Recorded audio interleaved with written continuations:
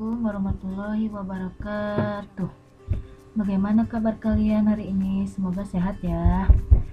Kali ini kami kita bertemu di semester 2 Dan insya Allah Ibu akan menjelaskan tentang senam lantai Yaitu sikap lilin, kayang, kangkang berpasangan, dan sikap kapal terbang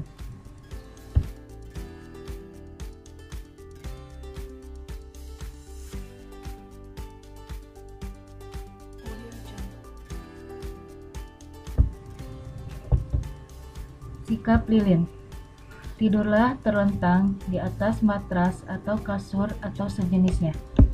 Kedua tangan menyangga punggung pada sisi badan dan rapatkan kedua kaki tekuk sebagai tumpuan.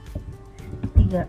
Tarik kaki ke atas setinggi mungkin, tahan dengan kedua tangan. 4. Tarik kaki sampai lurus, ujung kaki sejajar dengan bahu apa kalian tidak bisa melakukan sendiri, kalian bisa meminta tolong kepada ibu, kakak, atau adik, atau siapa pun yang ada di rumah. Yang kedua, ibu akan jelaskan kayang. Sebelum ibu jelaskan tentang kayang, kalian tidak boleh melakukan dengan sendiri karena berbahaya. Kalian harus meminta tolong dengan orang tua, kakak, adik, atau yang ada di rumah siapa pun itu untuk membantu kalian dengan posisi kayang. Yang pertama, posisi awal badan berdiri tegak. Kedua kaki agak terbuka dan kedua tangan lurus di atas. Yang kedua, jatuhkan punggung ke belakang dengan melengkungkan badan hingga kedua tangan menyentuh lantai. 3. Lalu kembali pada sikap permulaan dan ibu kasih tahu lagi, lakukan dengan pengawasan orang tua. Jangan kalian melakukan sendiri karena sikap kayang berbahaya dan kalian harus meminta tolong atau bantuan yang ada di rumah.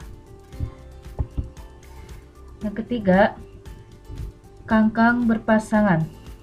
Kangkang berpasangan yang pertama ialah posisi awal duduk berhadapan dengan pasangan Kedua kaki dibuka lebar dan dirapatkan dengan kaki pasangan. Pegang tangan pasangan. Yang kedua, tarik punggungmu ke belakang seperti hendak tidur.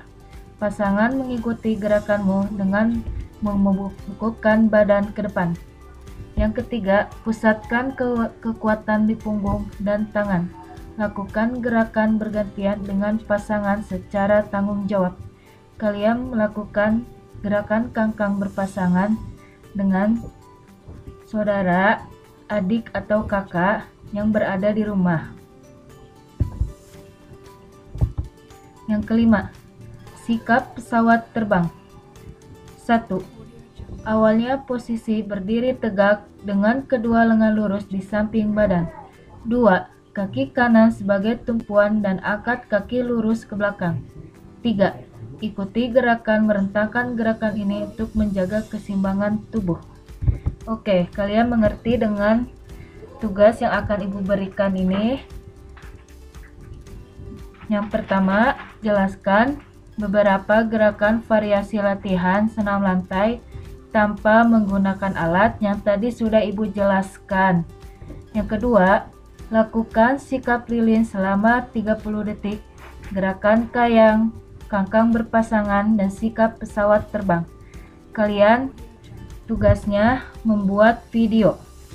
Ketiga, setelah selesai tugas dikumpulkan atau dilaporkan ke guru PJOK, kirim lewat WA. Itu saja pembahasan materi kita hari ini. Semoga kalian mengerti dan paham. Assalamualaikum warahmatullahi wabarakatuh.